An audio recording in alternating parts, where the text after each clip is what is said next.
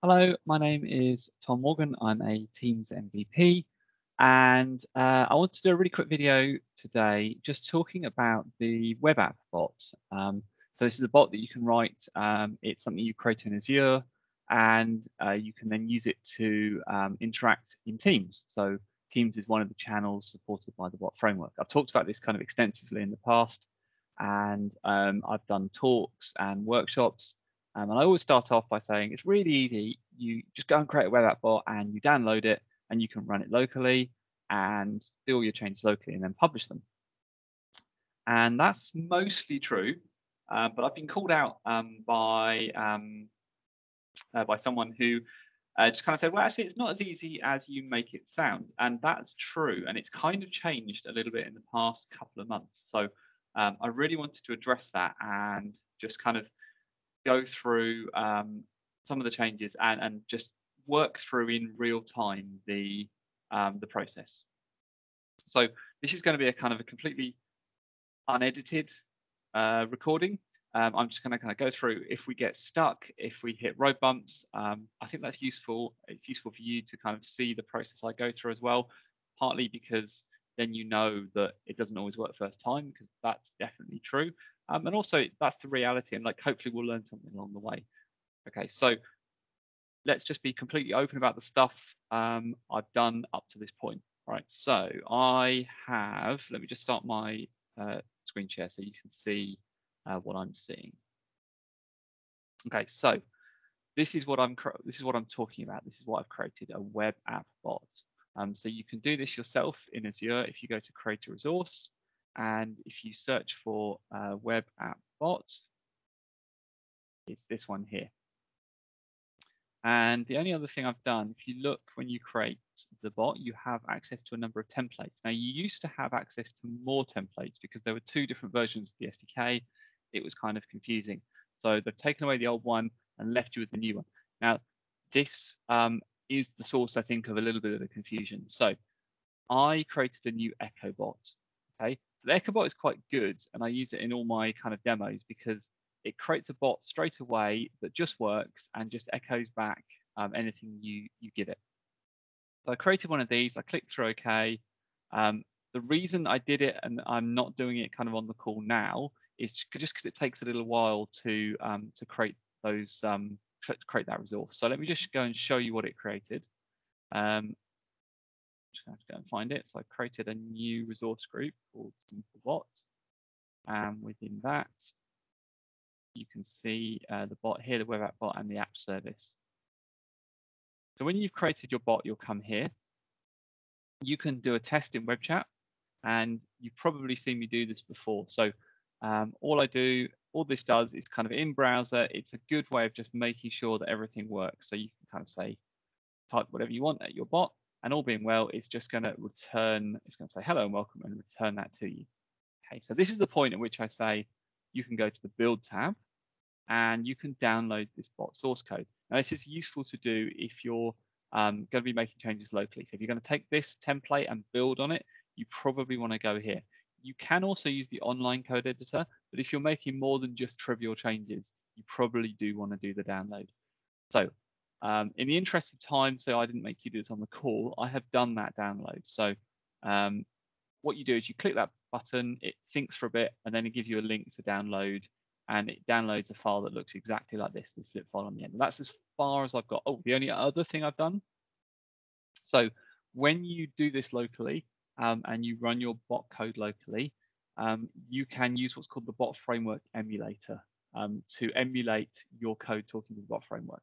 I've done a video on the bot framework emulator previously, so I'm not going to go over that. Um, but this is, I'm just going to let you know I have it open and running and I'm going to be using it in a bit. So what do we do with this downloaded code? How do we get this working in Visual Studio? Well, first thing, we need to extract it.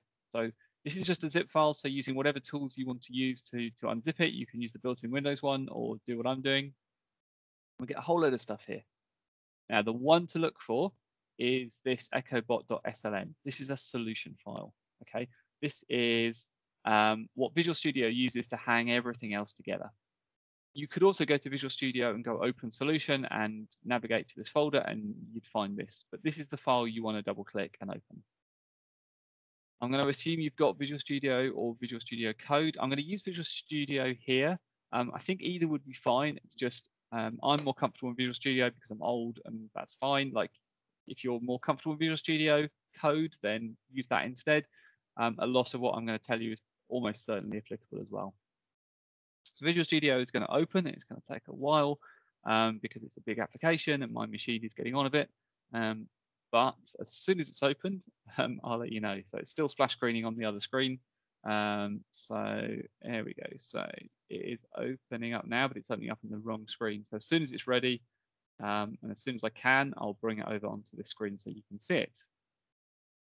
So we'll just wait a second. Um, we keep talking rather than, I don't want to edit this video too much because uh, otherwise it feels more like smoke and mirrors. I'd rather you get like the full experience of um, of what it's like in real time. Okay, so we're opening up. So this is what it looks like as soon as it's opened. So you can see all the things up and down here. There's a little, um, that's a warning triangle on dependencies. And that's probably because this project, uh, this project uses dependencies from uh, NuGet. Um, so NuGet is a package manager. Um, and so the code will say, I, I am referencing this package here. And actually, you haven't got that package on your machine. The nice thing about NuGet is that it's going to do all that stuff automatically for you. So actually you can see uh, down the bottom, it's actually doing a bunch of stuff already. It's installing some things for me already. So I can right click on this on this um, project. Uh, or is it the solution? Let's find out. Uh, yeah, so if I right click on the solution, I can go down to restore NuGet packages. Okay, that is going to go through the project in my solution figure out where the dependencies are and make sure they all exist. And I do that and it says here, well, actually they're already all installed and that little icon's gone away. So first things first, can I build this project? So right click on this on the Echo project, on the Echo bot project and click build and we'll see what happens. So it's going to think about it. This might take a while the first time. Um, you're building it for the very first time. Um, and it comes up straight away and says build succeeded. So that is all relatively positive. If your experience is different from mine at this point, this is probably a point to stop. Um, and there's no point kind of going any further. Ping me, let me know what the error message is. I'd be interested to know. Um, I might do like a follow-up um, kind of troubleshooting of different sections. All right, so the next point is, well, it builds, can we run it? Now, running in Visual Studio is up here on this, it's called the play button, maybe some people call it. Um, it's got the little arrow and I'm just going to click and click go. I'm just going to see what it does without changing any kind of defaults or anything like that.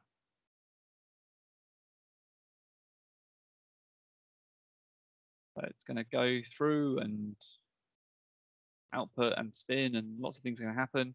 And it's opened up a command line over here. Okay. And it's also opening up a web page.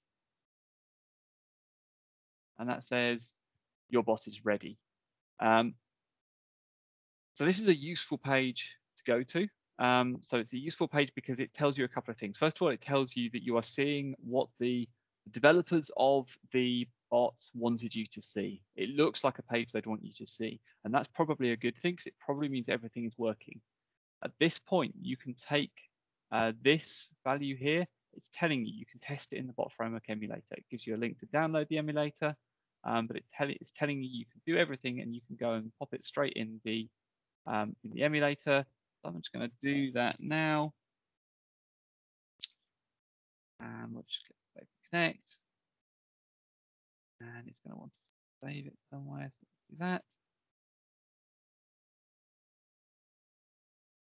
Now we can say, hello, bot. And immediately you see nothing happens. We see couldn't send, and we see this error message here, cannot post activity unauthorized. Now, the reason it's unauthorized is if we come back to um, our bot here, the endpoint up here that we typed in, right click and go edit configuration. The application ID and an application password, and it says they're optional. And it's true, they are optional. However, When they're not optional um, is uh, when they exist in the code, but then they if they exist in the code, they need to be in the framework. So you can leave them out of the code, and then you can leave them out of the framework emulator. But if they're in the code, they you do need to include them. So uh, we need to go find them in our EchoBot. We need to go and find where they are, and they live in app settings. So if you double click on app settings to JSON, you'll see here there's an app ID and a app password. So going to take this app ID and I'm going to paste. I'm not. I'm going to come back and let's try that again. Oh, not now, Visual Studio. There we go. Right. So let's copy that and paste it in there. And let's do the same with the password. Paste in there and click submit. Run this again.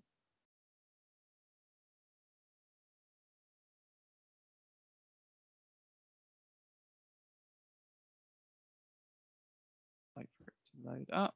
Again, we get this uh, command window pops up.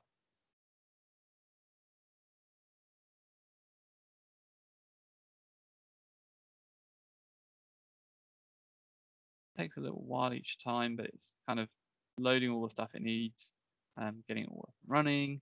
Um,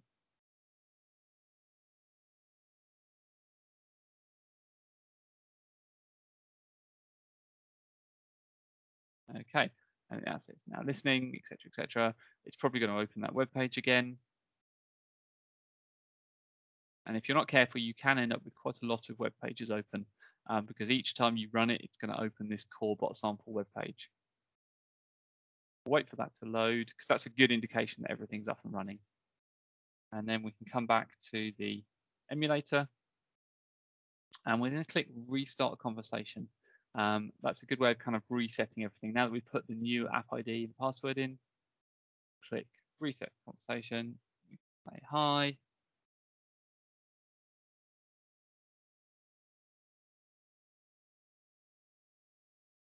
Think about it.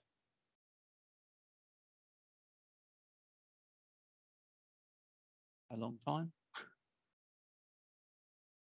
So you might see this as well. Like the first time you kind of start interacting with your code, it may, might be quite slow. Um, there we go. Eventually, actually, this kind of timed out. It said couldn't send, but actually, it has worked. Um, it just took quite a long time. And if you are now, if you now do it again, you should find it's it's much faster. Um, it will always be slower than in production because doing debugging locally will always be slightly slower. There's more going on. Um, now that you are debugging, you have quite a lot of options to do things. So um, if I come over here and just, I've already done a couple of videos and, and things where I walk through what how this code works and what it does. Um, but if we just come down to um, the bit where it just echoes out what you say, and I'm just going to put a breakpoint on that, just because I want you to see um, how useful it can be being able to write this code locally and test it in the emulator locally.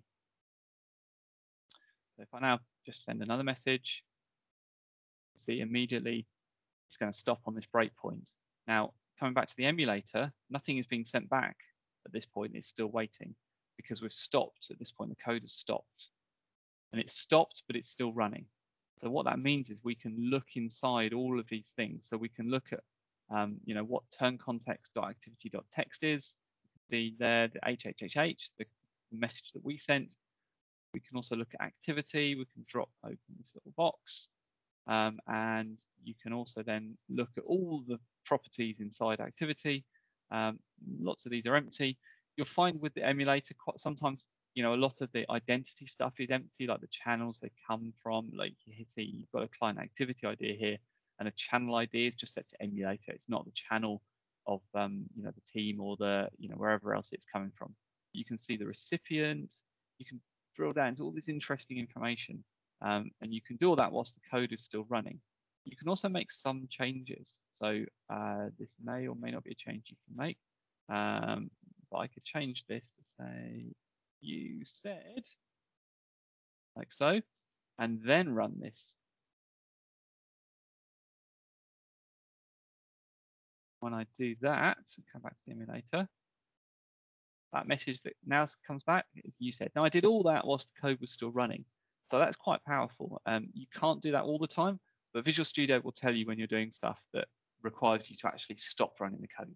It's just a slightly faster way of making small changes whilst the code's still running. You might just notice something and now you want to carry on.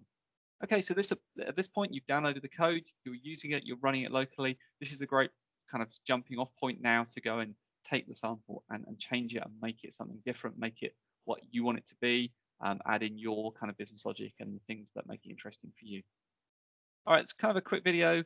Um, I hope it's been useful. I just wanted to cover some of those basics um, just because I've, I've, had a couple of questions about them. So let me know if it's been useful. Also, let me know if you get stuck at any point in that process. Um, if you see error messages that are different and don't make sense, kind of reach out. I can't promise I'll be able to fix them, but if, if I notice something, I'm happy to kind of clear it up and clarify because I know it's really frustrating. I've had this in the past for sure. I still get it now.